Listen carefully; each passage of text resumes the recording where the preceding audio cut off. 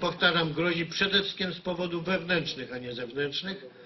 I jak się mamy ustosunkowywać do tych zupełnie, przepraszam, nowych zagrożeń, które się przed nami pojawiły.